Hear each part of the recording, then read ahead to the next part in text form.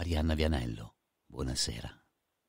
Buonasera, grazie per l'invito. E benvenuta, benvenuta davvero qui nel posto delle parole per condividere, noi lo facciamo con molto piacere. Kid Pass, scopri il mondo a misura di bambino. Ora, eh, le iniziative dedicate ai bambini sono tante, necessariamente, ma questa in particolare noi desideriamo raccontarla perché, perché è un progetto che, che è necessariamente da conoscere, perché ai bambini noi dedichiamo giustamente il tanto tempo, facciamo fare molte cose e qui c'è la possibilità di far fare altre cose e tra poco andremo a, a, a capire meglio. Marianna Vianello, lei è la presidente eh, di Kid Pass. Per chi non conoscesse queste due parole, che cosa significano? Ma siamo un po' proprio la bussola delle famiglie con bambini in Italia, questo è un po' il, senso, no? Una, una bussola e un lascia passare, perché anche luoghi che fino a un po' di tempo fa si pensavano un po' preclusi alla fascia dei più piccoli e dei giovanissimi, aprono le porte invece e quindi anche il mondo della cultura diventa a misura di bambino grazie anche a, a um, progetti come, come, quelli che seguiamo noi e promuoviamo noi. Ecco. E il bello è che mh, eh, noi da sette anni che, che, facciamo questo lavoro, infatti questa manifestazione dei Kid Pass Days che sarà il 15-16 maggio è la settima edizione e anno dopo anno vediamo sempre più realtà del mondo della cultura aprire le porte alle famiglie con bambini. E questa maratona nazionale del 15 e del 16 maggio coinvolgerà diverse, diverse, città, coinvolgerà diversi punti di grande attenzione culturale, tra poco li andremo a elencare ma soprattutto coinvolgerà i bambini e le loro famiglie, ma in particolar modo i bambini. Sono 100 eventi in 100 spazi culturali da tutta Italia, appuntamenti di presenza. Necessariamente oggi come oggi parlare di appuntamenti online è, è normale. Tutto questo per festeggiare che cosa? La ripartenza delle iniziative culturali e ci fa molto piacere parlare di questa ripartenza partendo dai bambini, Marianna Vianello. Eh sì, eh, quest'anno veramente eh, coincide no, questa ricorrenza perché appunto è, ormai un, un, appuntamento fisso che abbiamo insieme al mondo della cultura di, veramente da nord a sud dell'Italia e quest'anno è proprio un ripartire tutti insieme con una, un grandissimo programma, noi lo chiamiamo di edutainment, no? con questo termine che mette un po' insieme l'aspetto educativo all'aspetto anche divertente, ludico. Eh, che devo dire da genitore, oltre che da eh, ruolo appunto che rivesto in KidPass, ehm, che è eh, una chiave per riscoprire e scoprire il patrimonio culturale italiano anche per noi adulti insieme ai bambini, perché si vedono e si scoprono le cose con un'ottica che mai avremmo immaginato. Quindi, eh, non so, ad esempio andare a Palazzo Vecchio e con una visita guidata per bambini eh, è tutta un'altra cosa, un altro mondo da scoprire rispetto a una visita fatta magari da grandi senza i piccoli. Ecco, ma io lo consiglio, ma lo, ma, ma lo, consiglio vivamente Marianna Vianello, di, eh, questa è la mia grande passione quando vado a vedere le mostre, no? dopo eh, aver guardato la mostra con eh, la, la, guida, io sempre partecipo a quelle con i bambini perché trovo che sia quando la guida ha veramente una capacità di eloquio alla portata dello sguardo dei bambini per scoprire scoprire delle cose che noi grandi diamo per scontato. Eh sì, sì, ma ad esempio eh, nel programma di, del prossimo, non questo weekend, appunto quello successivo, ci saranno tantissime cose anche uniche, eh, proprio un'occasione, eh, eh, come dire, irripetibile, perché ci sono eh, proprio del, degli appuntamenti che capitano solo in questo momento dell'anno, che vengono proprio proposti in occasione dei Kid Pass Days, perché ormai c'è proprio l'aspettativa dei musei di questo momento per ehm, eh, proporre ad esempio un nuovo passaporto, una nuova caccia al tesoro, una nuova visita guidata. E quest'anno non tutti sono riusciti a proporla eh, subito in presenza, però mh, ne, ci sono comunque diverse iniziative in presenza e chi non è riuscito appunto a, o non se la sente ancora di organizzare l'attività eh, dal vivo, eh, propone del, dei giochi, delle attività, dei tutorial o degli appuntamenti in streaming online, insomma, per comunque essere presenti anche, eh, anche da casa. E necessariamente noi qui in questa breve conversazione insieme con Marianna Aprile non possiamo citare tutti quanti i luoghi, cen- questi cento luoghi che andranno a comporre questo puzzle straordinariamente ricco di colore e di stupore, sembra di vedere lo sguardo dei bambini a bocca aperta. E per capire, per conoscere questo progetto, per scoprire le città che aderiscono il sito di riferimento è kidpass.it, ma vogliamo insieme con Marianna eh, Vianello andarne a scoprire alcuni di questi eh, di questi posti straordinari perché si parte dal nord, si arriva a sud in una carta geografica straordinariamente ricca di, di possibilità, di attenzione culturale e di stupore. Torno a usare questa parola perché, perché, perché mi sembra corretta da parlando dei bambini rispetto all'arte, rispetto a questi posti. Che cosa ci racconta Marianna Vianello? Ma ehm, do solo alcune chicche perché poi invito veramente tutti ad andare a scoprire il programma e, e a cercarlo appunto nella, propria città, nella, nella propria regione. Eh, ma ad esempio a Venezia noi siamo, abbiamo sede a Venezia, quindi mi viene in mente come prima cosa la, la mia città. Eh, ci sono tantissime iniziative, eh, c'è ad esempio la possibilità di fare una passeggiata misteriosa oppure la caccia al leone in giro proprio per la città e, oppure eh, c'è la possibilità eh, di fare una, un'esperienza particolare a tema antichi romani al Museo archeologico di Venezia.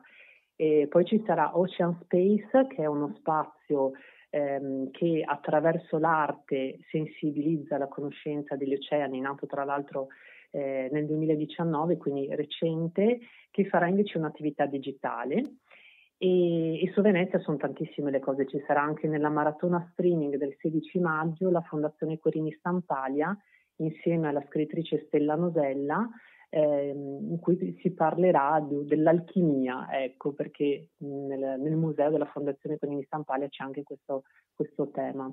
Ma poi le città mh, eh, più importanti che offrono tantissime iniziative sono anche Milano, Torino, Firenze, Roma, Bologna, eh, c'è anche Palermo, Napoli. Addirittura, se posso citare anche questo, che per me è veramente stato, è stata una soddisfazione quest'anno, avremo ospite il presidente di Città della Scienza di Napoli all'apertura della maratona streaming di domenica 16 maggio. Quindi siamo onorati. Eh sì, anche perché questo è un sito importante che ha avuto anche diversi problemi ai noi e quindi è una rinascita del Museo della Scienza e Tecnologia. Eh, anzi no, mi sto, mi sto, confondendo, non è la scienza, città la città della scienza, ecco, la città della scienza di, di, Milano che è un esempio a livello internazionale, ma anche per esempio a Torino la villa di Stupinigi, una straordinaria, una straordinaria... Sì una straordinaria cosa, oppure a San Sepolcro il museum di Aboca, eh, Aboca la, l'azienda eh, nota in tutta Italia ed è anche un modo per conoscere come un'azienda, come in questo caso Aboca, ha un aspetto culturale, è anche per esempio una casa editrice, oppure il Museo del Novecento a Milano, e sono luoghi che forse sono già molto conosciuti, ma visti con questa prospettiva diventano del tutto nuovi, Marianna eh, Bianello. Esatto, esatto. Ad esempio il Museo di Aboca a San Sepolcro eh, non è not- noto a tutti, sicuramente Aboca è famosissimo come brand, però eh, questo museo è veramente un gioiello perché ehm, ha proprio una, eh, un approccio eh, storico alle scienze e alla scoperta, ad esempio, eh, delle erbe, no? alla conoscenza ehm, scientifica di, di, tutta questa tematica e ci sarà un bellissimo laboratorio sempre nella maratona streaming di domenica 16 maggio con loro eh, su, a tema Leonardo da Vinci, quindi insomma bellissimo, imperdibile. Imperdibile sicuramente, sicuramente qui eh, abbiamo semplicemente a questo punto bisogno di una parola che ci faccia muovere eh, da casa e raggiungere questi luoghi il 15 e il 16 eh, di maggio, ovvero questa parola, la parola curiosità. Parliamo, prima di chiudere questa conversazione, Marianna Vianello, invece della parte online, in che cosa consiste? Sì, allora online eh, ci saranno diversi tipi di attività eh, sia dei laboratori, eh, alcuni in eh, diretta streaming sul canale YouTube di Kid Pass e la pagina Facebook di Kid Pass e questi tutti concentrati domenica 16 maggio in cui faremo veramente una grande maratona che sarà vivibile in diretta per chi può ma chi, chi desidera lo può anche eh, vedere eh, in differita e sarà dalle 10 di mattina alle 18, quindi mh, senza mai fermarci tutto il giorno e il bello è che saremo collegati appunto dalle varie parti d'Italia eh, con questi musei meravigliosi. Poi ci saranno anche delle attività online, mh, dei giochi, eh, dei laboratori tutorial, insomma, quindi ci saranno diverse cose da poter fare eh, anche con una gallery che poi dura nel tempo e può essere vissuta anche dopo queste date, le 15 e 16 maggio. Ecco. Quindi l'invito è ehm, sicuramente per chi può di partecipare alle attività in presenza per, per celebrare un po' anche questa ripartenza e, e poi eh, sfruttare anche questa occasione di tutti questi grandi bellissimi materiali online e streaming eh, che poi ci mh, servono per farci venire voglia, soprattutto appunto per far venire la curiosità ai bambini di andare a scoprire dal vivo questi posti, no? Questo è importante, andarli a scoprire dal vivo insieme con eh, i genitori e mi sembra una cosa importante perché come diceva in apertura di conversazione Marianna Vianello, perché questo serve ai bambini e serve anche agli adulti, è un dialogo continuo. Al di là, al di là della, della, frequentazione che è molto importante, no? dei numeri, che cosa vi aspettate da questa edizione 2021? Ma ci aspettiamo proprio eh, di mh, avere anche un po' come dire la serenità finalmente di riaprire, di ricominciare, di ritrovare anche un po' la normalità perché eh, i musei hanno sofferto tanto in questo periodo, come tantissime altre realtà, ma insomma sicuramente il mondo della cultura ne ha risentito tanto e quindi eh, proprio c'è la voglia, io penso anche proprio a tutti i lavoratori del mondo della cultura, c'è proprio la voglia di tornare a rivedere i propri musei eh, vissuti, eh, riempiti dalle persone che app- possano tornare ad apprezzare e a vivere di nuovo l'arte, l'archeologia, la scienza, e, insomma, quindi proprio tutti ne abbiamo bisogno, noi eh, come dire fruitori, ma ancora prima eh, chi lavora in questo settore. Eh sì, ancora prima chi lavora perché dietro un museo non c'è semplicemente una mostra che noi andiamo a vedere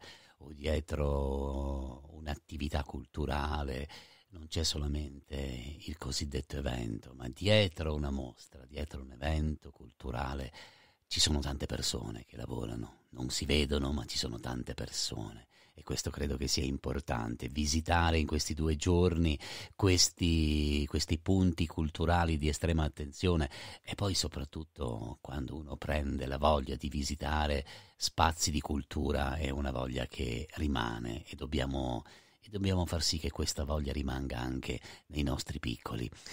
Marianna Vianello, prima di salutarci invece, qual è il libro che le fa compagnia in questi giorni? Allora, in questi giorni eh, ci fa compagnia, lo sto leggendo insieme a mio figlio, però è bello anche per i grandi, Sebastian Chronicles, che è una saga scritta da eh, Stella Nosella, che è una scrittrice eh, veneta di Portogruaro, e eh, ha scritto tantissimi libri, ma questa è proprio una saga dedicata a, proprio alla scoperta dell'archeologia e dei musei eh, attraverso una, delle avventure eh, coinvolgenti e devo dire che eh, è proprio bello anche per me che sono, che sono adulta eh, poter condividere questo libro insieme a mio figlio che ha otto anni. Quindi stasera leggerà questo, una parte di questo libro a suo figlio, Marianna. Andiamo avanti, assolutamente, andiamo avanti insieme perché tutte le sere abbiamo quei eh, quarto d'ora, 20 minuti prima di dormire in cui andiamo avanti con, con questo libro. E a proposito di libri, KitPass, kitpass.it per capirci, ha anche una pagina dedicata ai libri consigliati dalla scrittrice Stella Nosella. Eh credo sì. che sia una cosa veramente molto bella perché vedo qui il mago delle bolle, quello che diceva lei, e poi Innamorati o Innamorati di Hélène Delforge, un libro molto bello, tra l'altro con delle illustrazioni straordinarie, Battito d'ali di Daniela Rossi e sono veramente delle, delle, opportunità e torno a utilizzare la parola curiosità che è una parola sicuramente l'arma vincente per attraversare tante cose e anche la parola cultura. Grazie. Grazie davvero. E Marianna. anche per noi per tornare bambini, ecco. E soprattutto Oltre perché... che fare contenti i nostri bambini, eh, facciamo contenti anche noi, che ci fa bene. Ha voglia perché riprendere un po' quello sguardo bambino forse, forse ci è utile. Di nuovo tante grazie. Eh sì. Buona serata. Grazie mille, buonasera.